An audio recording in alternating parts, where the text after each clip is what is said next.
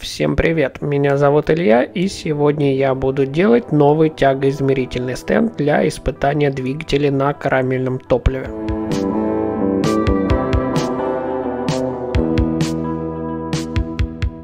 Кратко напомню для новых зрителей канала, что у меня было два поколения тягоизмерительных стендов. По большому счету это были весы на 20-килограммовом тензодатчике на базе Arduino.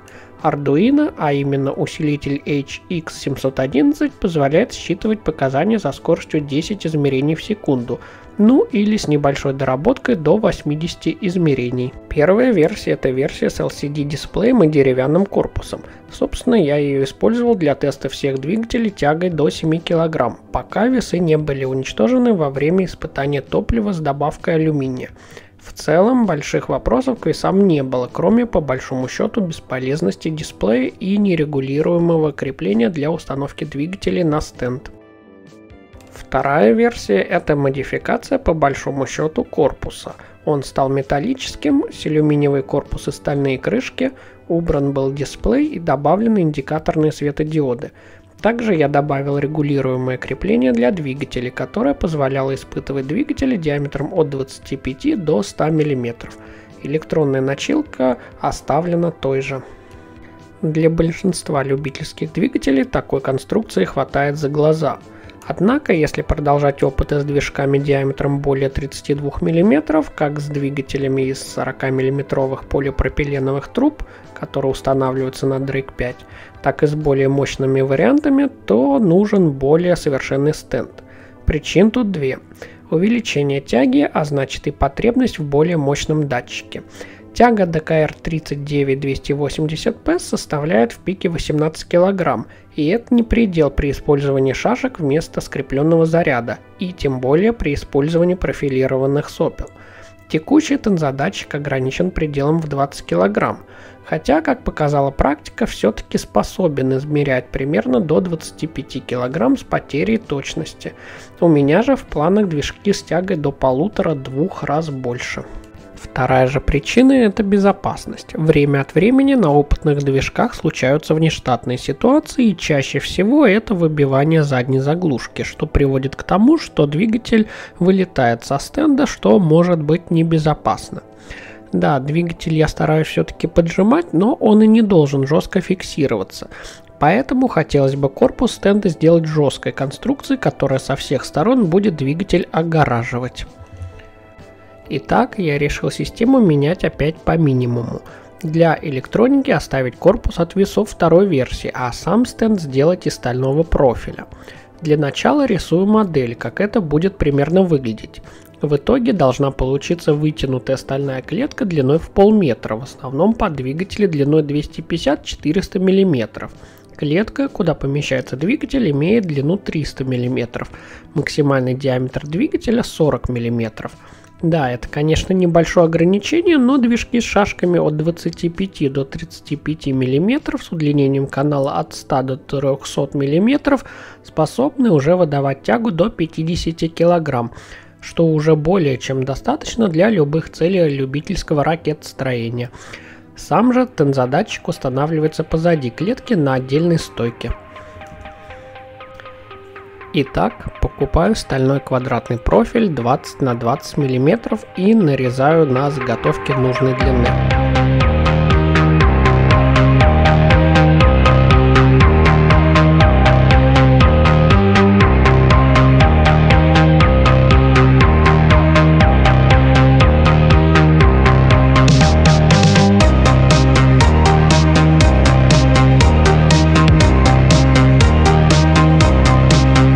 Высверливаю отверстие в 10 мм для крепления в землю.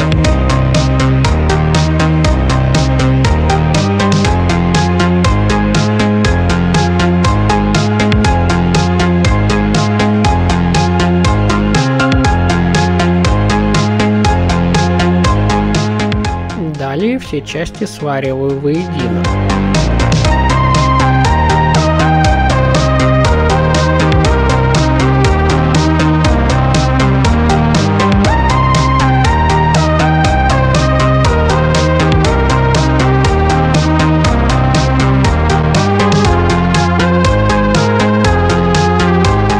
Набиваем и стачиваем шлак для красоты.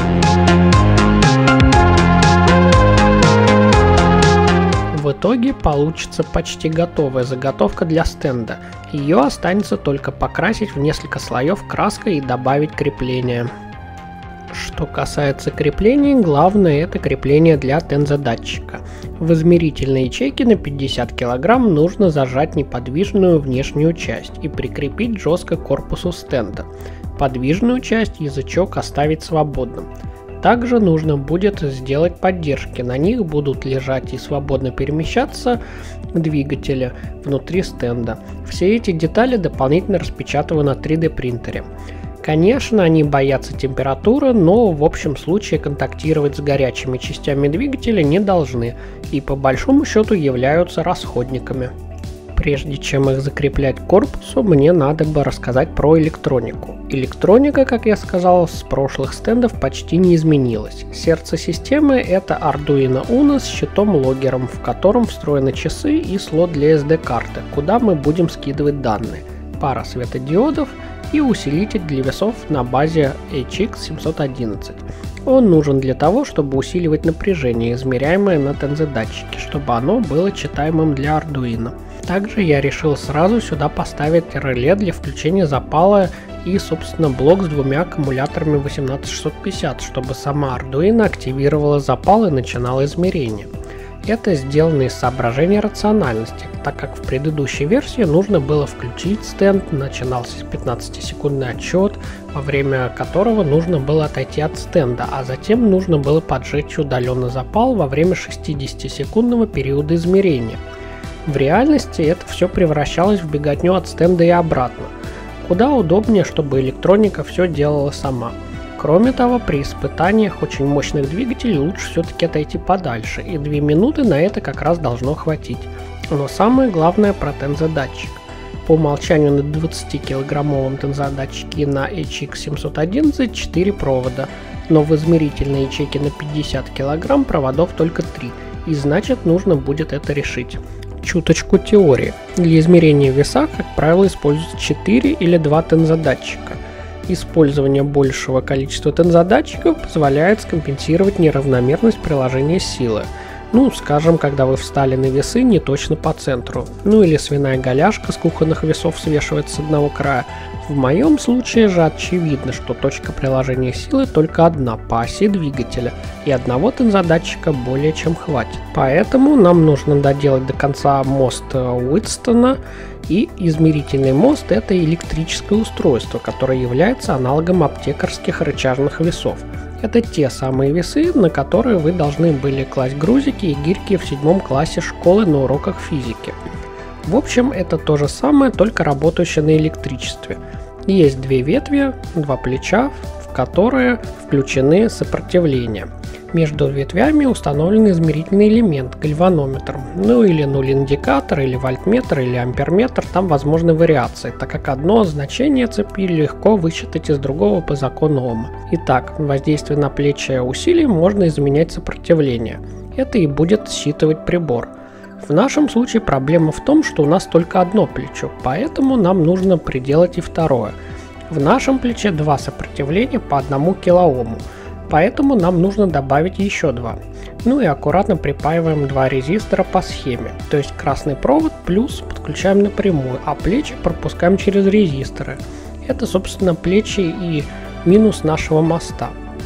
Чтобы проверить где что, нужно взять мультиметр и проверить сопротивление – между плечами сопротивление будет 2 кОм, а между плечом и плюсом 1 кОм. В принципе, должно быть, что красный центральный это плюс, а белый и черный это плечи. Но китайцам доверяй, но проверяй. Все аккуратно припаиваем, оборачиваем в термоусадку и изоленту. Ни в коем случае ничего не должно болтаться, так как любой непропай или геометрическое искажение повлияет и на точность измерений, и в принципе само по себе будет давать какое-то значение отличное от нуля. Скетч с прошлого раза также не изменился почти никак, кроме добавления зажигания и увеличения задержки с 15 секунд до минуты, так что кратко. Включаем Arduino, инициализируем весы, карточку, пины, на которых стоят реле и диоды и начинаем обратный отсчет. Ну а дальше просто. По истечению тайм-аута включаем и замыкаем реле. Сразу начинаем писать данные на карту и пишем их по полминуты. За это время движок должен и зажечься, и отработать. Ну и по завершению измерения останавливаем весы. Да, предварительные весы нужно откалибровать, выставив в скетче нужный калибровочный коэффициент. Он может быть как положительным, так и отрицательным, если мы перепутаем плечи местами. Так что плечи перепутать вполне можно, но и не страшно.